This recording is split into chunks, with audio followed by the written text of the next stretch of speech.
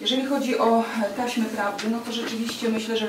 e, Polacy długo będą pamiętali. Myślę, że przynajmniej część społeczeństwa została przebudzona i zaczęła myśleć, samodzielnie myśleć, że rzeczywiście byli oszukiwani, że byli traktowani niepoważnie.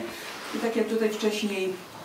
nasz kandydat na prezydenta, Andrzej Wiśniewski, wspominał, e, to nie jest tylko tak, że na samych szczytach były takie taśmy prawdy, e, że to, co się działo, mieliśmy okazję usłyszeć, bo również i, tutaj na poziomie tym regionalnym e, mieliśmy okazję dowiedzieć się, jak sprawy ustawiane były w województwie, więc myślę, że to pokazuje, że ta władza od samej góry do samego dołu jest po prostu no, no zepsuta. Zresztą mamy na własnym podwórku przykład, e, pamiętacie Państwo nie tak dawno przypadek e, prezydenta Sikory, e, wniosek CBA, po- ponowne powołanie przez prezydenta Malinowskiego na to samo stanowisko, proszę Państwa, no to jest po prostu arogancja buta i to jest brak szacunku dla nas wszystkich.